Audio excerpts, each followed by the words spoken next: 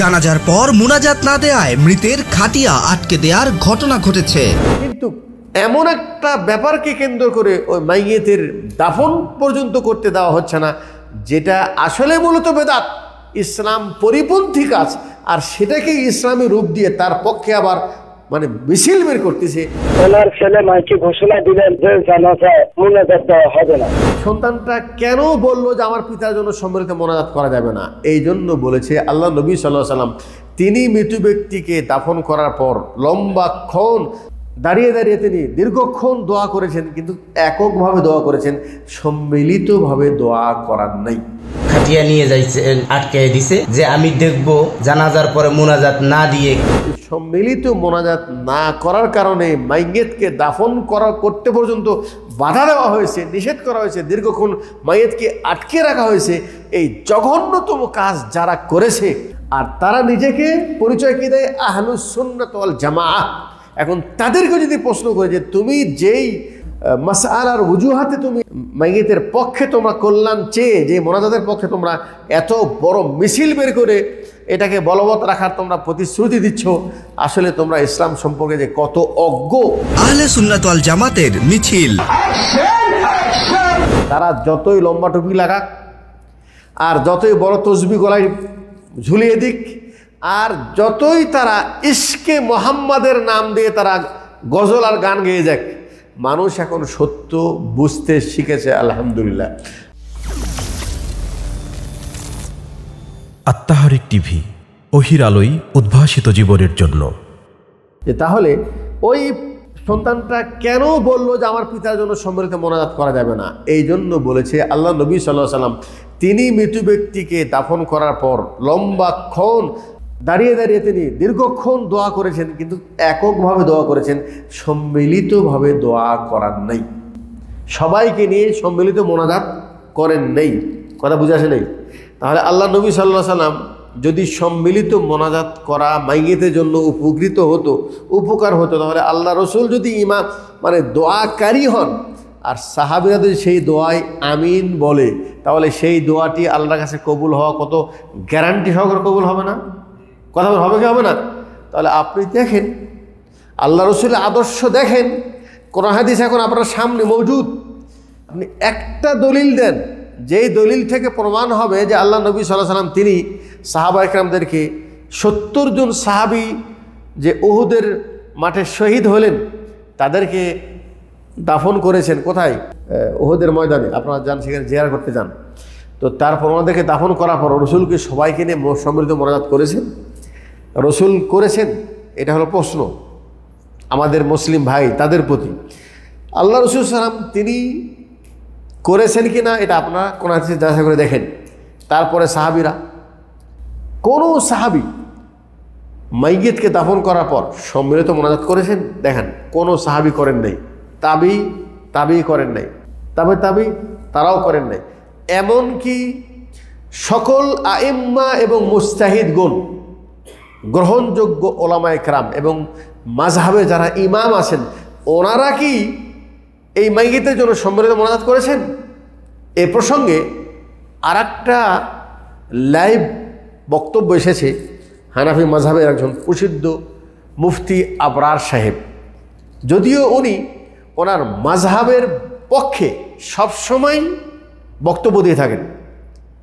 মানে আমাদের বিপক্ষে আহলাইজদের বিপক্ষে মাঝহাবকে টিকিয়ে রাখার জন্য সবসময় তিনি মাঝহাবের পক্ষে অনেক দলিলা দিল্লা নিয়ে মাঝহাবকে টিকিয়ে রাখার চেষ্টা করেন। কিন্তু এই ঘটনার পর দেখলাম যে উনি মাশাল্লাহ একটা সত্য কথা বলেছে। সেটা হলে যে সম্মিলিত মনোজাত না করার কারণে যারা নিজেদেরকে হানাফি মাঝহাবের অনুসারী প্রমাণ করে, যারা মানে মাইয়েতকে দাফন করতে যারা বাধা দিয়েছে, তারা ভুল করেছে। কেন ভুল করেছে? এখন বলছে যে আসলে মানে মাইয়েতকে দাফন করার পর সম্মিলিত মোনাজাত না আল্লাহ রসুল করেছেন, না সাহাবি করেছেন, না তাবি করেছেন, না তাবে তাবি করেছেন, না এমনকি আমাদের ইমাম আবু হানিফ রহমুল্লাহ তিনিও করেন নাই এবং হানাফি মাঝহাবেও সম্মিলিত মোনাজাত নাই মাইয়েতকে দাফন করার পর। এই সত্য কথা তিনি এটা বলেছেন। এখন আমাদের প্রশ্ন যে সমস্ত ভাইয়েরা এই কাজটি করেছে তাদের কাছে এবং এখান থেকে শিক্ষা অর্জন করবেন ওই সকল মুসলিম ভাইয়েরা যারা এখনও আমাদের কথা বুঝতে সক্ষম হন নাই। আপনি সবসময় আবেগ দিয়ে জিনিসটা বিবেচনা করার চেষ্টা করেছেন। কি করেছেন? আমাদের দেশে এত বড় বড় হুজুর, আমাদের দেশে এত বড় বড় মাদ্রাসা, ওনারা কি হাদিস পড়েন নাই? ওনারা কি ইসলাম সম্পর্কে জানেন না? তাহলে ওনারা এই কাজটি করতেছে, এটা কি অবশ্যই দলিল আছে? আপনি নিজেই মনে করেছেন, অবশ্যই কি দলিল আছে?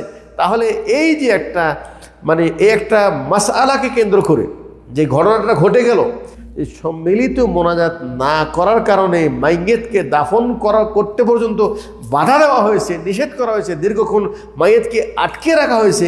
এই জঘন্যতম কাজ যারা করেছে তাদের সংখ্যা বেশি না কম। নাইনটি নাইন পার্সেন্ট সংখ্যা তাদের, ঠিক আছে? আর তারা নিজেকে পরিচয় কি দেয়? আহলুসন্নত জামা এখন তাদেরকে যদি প্রশ্ন করে যে তুমি যেই হ্যাঁ মানে মাসাল আর উজুহাতে তুমি এই মাইয়েতকে, মাইয়েতের পক্ষে তোমরা কল্যাণ চেয়ে, যে মোনাজাতের পক্ষে তোমরা এত বড় মিছিল বের করে এটাকে বলবৎ রাখার তোমরা প্রতিশ্রুতি দিচ্ছ, আসলে তোমরা ইসলাম সম্পর্কে যে কত অজ্ঞ কত বড় জেহাদ তোমাদের মধ্যে আছে? হ্যাঁ তোমাদের মধ্যে শুধু আছে কি? আমরা এতদিন এটা করে আসছি। আমাদের এলাকায় এটা চলে আসতেছে। আমাদের আকাবেররা এটা করে আসতেছে। কিন্তু তোমার আকাবেরের আরও বড় আকাবের। আর বাবা, আল্লাহ রসুল সালামের আদর্শ কি এ বিষয়ে নাই? আল্লাহ নবী সাল্লাম আমাদেরকে কোন শিক্ষা দিতে তিনি ত্রুটি রেখেছেন বলেন। আমাদেরকে তো ইসলামের যত যাবতীয় জানার বিষয়, সব কিছু তিনি আমাদেরকে ক্লিয়ার করে বলে দিয়েছেন। এস্তেঞ্জা কীভাবে করবেন, অজু কীভাবে করবেন সালাদ কীভাবে করবেন, আমাদেরকে বলে দেয় না।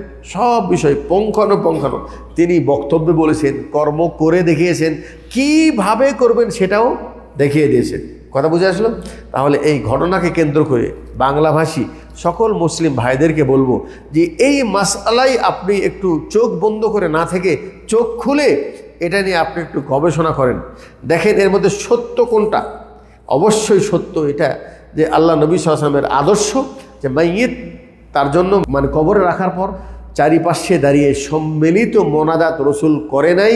আর রসুল বলছেন, মান আহাদাসা ফি আমরিনা হাদা মা লাইসা মিনহু ফাহরাত যে দিনের মধ্যে দিনের রূপ ধারণ করে, দিন মনে করে, দিনের মধ্যে কোনো নতুন কিছু আবিষ্কার করে, যদি কোনো সওয়াবের আশায় কোনো কাজ করে, তাহলে সেটা হলো বেদাত এবং সেটা প্রত্যাখ্যাত।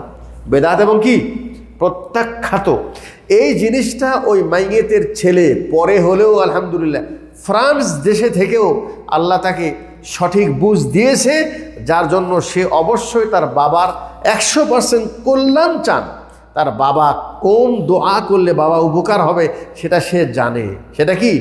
জানে। এবং কোন দোয়া তার বাবার কোনো উপকারে আসবে না, বরং ওই দোয়া যদি কেউ সম্মতিক্রমে যদি সেটা করে, তাহলে ওই বেদাত এবং গুণের অন্তর্ভুক্ত সেও হবে। এই জন্য বলেছে, এই দোয়া আমার পিতার জন্য করতে দিব না। কথা বোঝেন নাই? জি। এরকম আবেগ দিয়ে সব কিছু বোঝার চেষ্টা করবেন না। আপনাদের কাছে প্রশ্ন সেটা হলেই, আপনি কি বুঝলেন? আপনি কি বুঝলেন? আপনার বিবেককে নাড়া দেন। যে আসলে আপনি যদি বিবেককে প্রশ্ন করেন, আরে তাই তো, দোয়া করা তো ভালো আল্লাহ কাছে চাইব। আল্লাহর কাছে কি? চাইব। জি না, শোনেন, চাওয়া যেটা, ভালো করে বোঝেন। আল্লাহর কাছ থেকে চাওয়া যেটা যেটা প্রত্যেক ব্যক্তি যার যেটা চাওয়া, সে আল্লাহর কাছে চাইবে। আল্লাহর কাছে কি? চাইবে। একমাত্র সালাতের ভিতরে অথবা খুদবার মাঝে, খুদবার ভিতরে ইমাম যখন দোয়া করবে, তখন সেই দোয়ায় মোক্তাদিরা আমিন বলবে।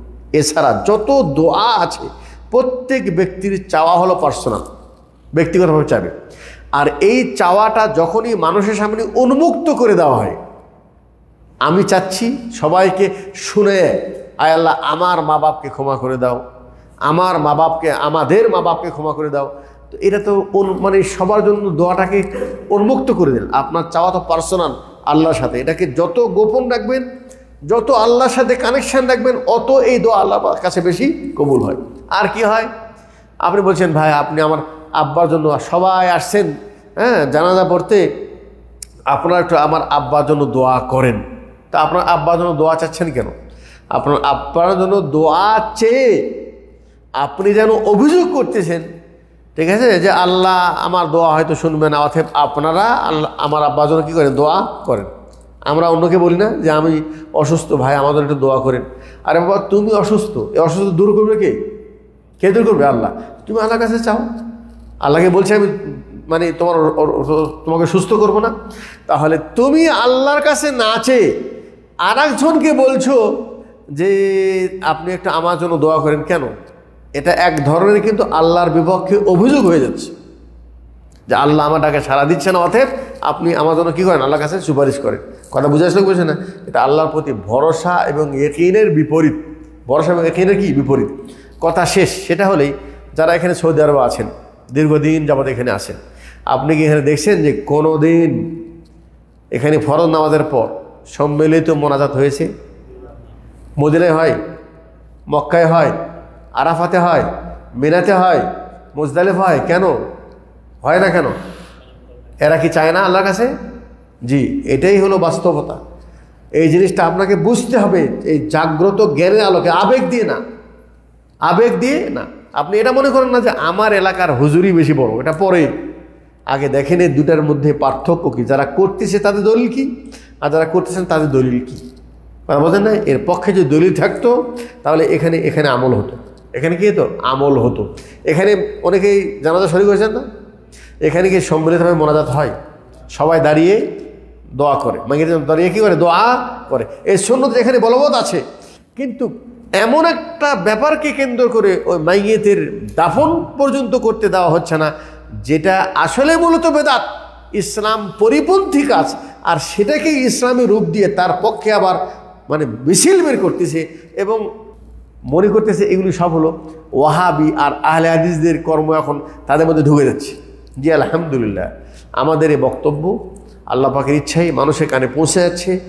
যাদেরকে আল্লাহ পাক বোঝার তৌফিক দিচ্ছেন, তারা এই সত্য জিনিসটা বোঝার চেষ্টা করতেছে এবং তারা সত্য গ্রহণ করতেছে। তারা যতই লম্বা টুপি লাগাক, আর যতই বড় তসবি গলায় ঝুলিয়ে দিক, আর যতই তারা ইস্কে মোহাম্মদের নাম দিয়ে তারা গজল আর গান গেয়ে যাক, মানুষ এখন সত্য বুঝতে শিখেছে, আলহামদুলিল্লাহ। অতএব যারাই সত্য বুঝবে, তারা সে সত্যরা নিজে বাস্তবায়ন করবে এবং তার পরিবারের মধ্যেও বাস্তবায়ন করা তারা অবশ্যই চেষ্টা করবে ইনশা আল্লাহ অতএব এই হকের বিপক্ষে আপনি লাঠির জোর দিয়ে এলাকার প্রভাব দেখায়, অধিকাংশ মানুষ যেহেতু এটা করে, জি না, এটা আপনি যদি করতে যান, আপনারা নিজেরাই ক্ষতিগ্রস্ত হবেন। রসুল সালাম বলছেন, মান সান্না সুন্নাতান হাসানা। ইসলামের মধ্যে যে সুন্নতটি আছে মানুষ সুন্নত সম্পর্কে জানে না। সঠিক সুন্নত কি? জানে না। এই সুন্নত যদি কোনো মানুষ সমাজে প্রচার করে, কি করে? ফালাহু আজরুহা ও আজরু মান আমিলা বিহা। ওই সন্ন্যত আমল করার কারণে ও সে সবও পাবে এবং ওই সন্ন্যত দেখে দেখে যত মানুষ আমল করবে, তাদের সবও সে পাবে। ওমান সান্না সুন্নাতান সাইয়া আর কেউ যদি ইসলামের নামে বিকৃত সন্ন্যত সাইয়া, যেটা ইসলাম সন্ন্যত বলে সাব্যস্ত করে নাই। বেদাতি কোনো কাজ যদি সমাজে কেউ পরিচালিত করে, তাহলে ওই বেদাতের গুণা তার উপর আসবে এবং তার দেখা দেখি যত মানুষ আমল করবে, সেটার গুণাও তার উপর আসবে। অতএব যেই হুজুর, এই মোনাজাতের পক্ষে হ্যাঁ মিটিং মিছিল করতেছে, তার পক্ষে জোরালো বক্তব্য দিচ্ছে হ্যাঁ এবং তার তার ভয়েস আমি শুনেছি সে একটা ইন্টারভিউ দিচ্ছে। হ্যাঁ রসুল বলছেন যে, ইদা সাল্লাই তুম আলাল যা এই হাদিসে বলছে, যখন তোমরা জানাজা পড়ো আখলিসুল্লাহ দোয়া মাইয়েতের জন্য খালেসভাবে দোয়া করো। হাদিসটা আমি ওটাই বলছি, কিন্তু এই দোয়ার জায়গা কখন এবং কীভাবে?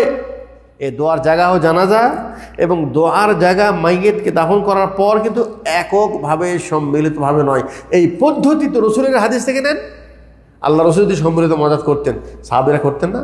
অবশ্যই করতেন। তো এই একটা তুচ্ছ ঘটনাকে কেন্দ্র করে আপনার যদি বুঝের সমস্যা থাকে, বুঝের ভিন্নতা থাকে, ঠিক আছে, যে কেউ স্বাধীন। ইসলাম বোঝার ক্ষেত্রে কি? স্বাধীন।